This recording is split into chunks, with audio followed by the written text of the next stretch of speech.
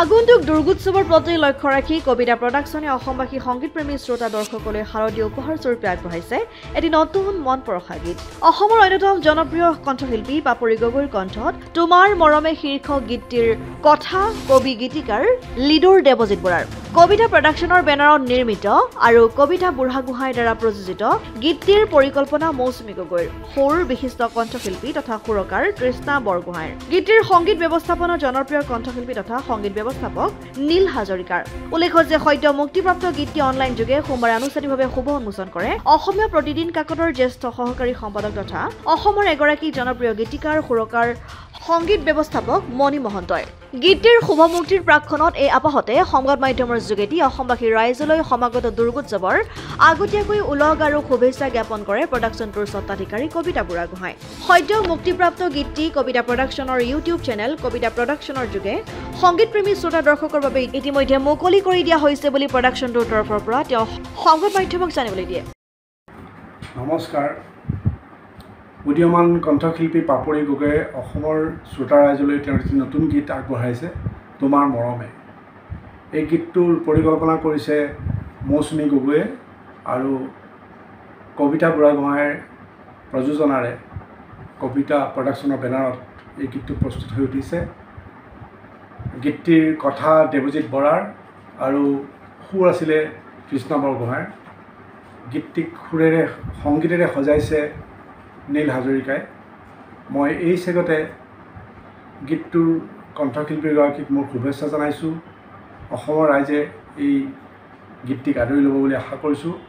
আৰু গীতটিক আজি এই চেগতে মই আনুষ্ঠানিকভাৱে ঘোষণা কৰিলোঁ। উন্মোচন হোৱা বুলি। আনহাতে গীতটিৰ সন্দৰ্ভত সংবাদ মাধ্যমৰ আগত নিজৰ অভিমত ব্যক্ত কৰে কবি চিন্তাশীল স্তম্ভ লেখক শামছুল বাৰিকৰ লগতে শিল্পী দুলিতৰা বৰুৱা আৰু মাম্পীয়ে।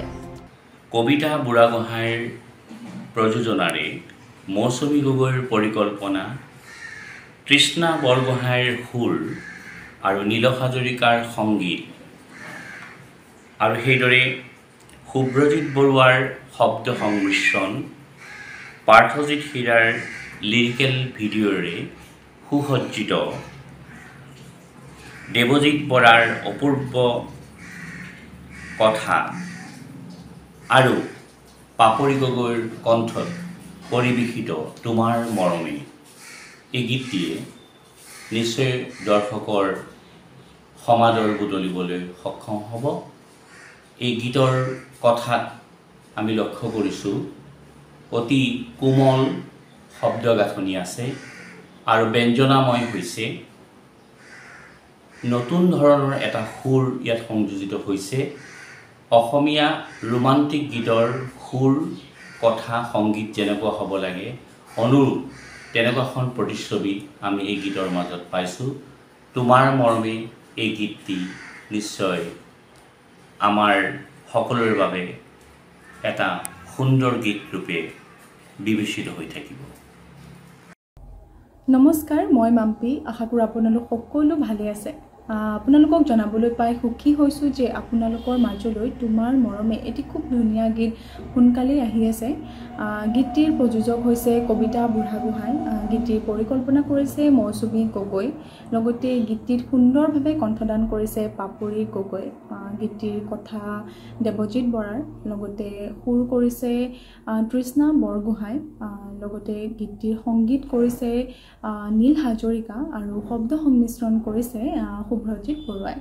গতিকে এই গীতটি খুব সোনকালে আপোনালোকৰ মাজলৈ আহি আছে। আশা কৰোঁ আপোনালোকে সুন্দৰভাৱে গীতটি আঁকোৱালি ল'ব। ধন্যবাদ।